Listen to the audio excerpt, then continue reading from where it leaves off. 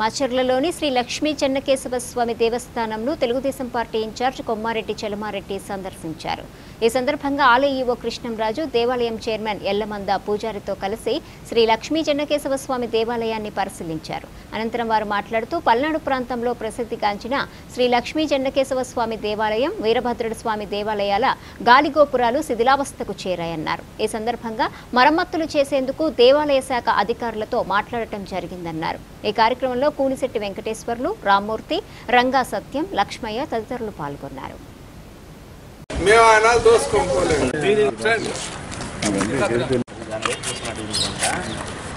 Clean చేసి ప్రయత్నం చేస్తామని మాటలు చెదర శతాబ్దంలో బ్రహ్మనాయుడు గారు శంకుస్థాపన చేసిన అత్యంత ప్రా ప్రాచీనమైన దేవాలయం చెన్నకేశ్వర లక్ష్మీ చెన్నకేశ్వర దేవాలయానికి మరమ్మతులకు శిఖరం పూర్తిగా శిథిలం అయ్యే పరిస్థితిలో ఉంది. దాన్ని మనం పురావత్ శాఖ ద్వారా ఇంజనీర్లను పిలిపించి ఇవన్నీ కూడా ఎస్టిమేషన్ వేసి మళ్ళీ దాన్ని ఫినిషింగ్ వర్క్ అంతా కూడా పూర్తి చేయడానికి ప్రయత్నం జరుగుతుంది. అట్నే ఈరభద్ర స్వామి గుడి కూడా ఐదు వందల సంవత్సరాల నాడు కట్టిన టెంపుల్.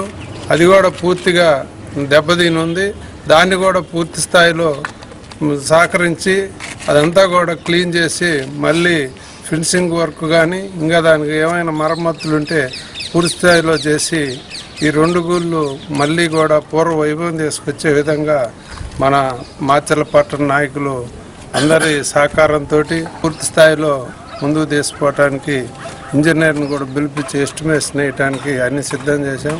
మరి ఇంజనీర్లు పిలిపించి ఇన్ఛార్జి చల్మారెడ్డి గారి ఆధ్వర్యంలో ఎస్టిమేట్ తయారు చేయించి దానికి నూతన కమిటీని కూడా వేసి ఒక చైర్మన్ పెట్టి గాలి గోపురాన్ని మళ్ళీ ప్రత ప్రతిష్ఠించే దానికోసం మరి ఇన్ఛార్జి చల్మారెడ్డి గారి ద్వారా ప్ర- ప్రయత్నం చేస్తా ఉన్నాడు. అది దేవాలయం మన పల్నాడు ప్రాంతంలో చాలా ప్రసిద్ధిగాంచింది ఈ పల్నాడు ప్రాంతంలో చెన్నకేశ్వరం టెంపుల్ అంటే తెలియని ఆ, వారు లేరు. ఈరోజు ఈ మీటింగ్లో మన ఇన్ఛార్జ్ చలవారెడ్డి గారు పట్టుదలతో రెండు మూడు సార్లు ఈ గాలి గోపురం అయితేనేమి మామూలుగా ఈ గోపురం అయితేనేమి ఏలభద్ర స్వామి అయితే మెయింటెనెన్స్కి కొన్ని రిపేర్లు ఉన్నాయి. ఈ రిపేర్లన్నింటికి కూడా ఎస్టిమేషన్ వేయించి మమ్మల్ని కూడా రెండు మూడు సార్లు ఈఓ గారితో మాతో చెప్పి తొందరగా చెప్పిస్తే మేము ఎస్టిమేషన్ వేసి రిపేర్ చేయించడానికి సిద్ధంగా ఉందని చెప్పినారు. అదేవిధంగా చలమారెడ్డి గారు ఈ పట్టుదలని ఒకే మాయం కూడా కృషి చేసి దాన్ని ఎస్టిమేషన్ వేయడానికి సహకరించి వీలున్నంత త్వరగా ఈ దేవాలయ పునర్నిర్మాణానికి పొడి పడిపడి పడిపోయినటువంటి ఈ టెంపుల్ని చాలా చక్కగా తీర్చిదిద్దడానికి చలమరెడ్డి గారి సహకారంతో ఈ సహకారంలో మా- మేము ఆ, కునిశెట్టి వెంకటేశ్వర గారు రామలక్ష్మి గారు సరే ఈఓ గారు తర్వాత మన గుడి పూజారి గారు తర్వాత రంగా సత్యనారాయణ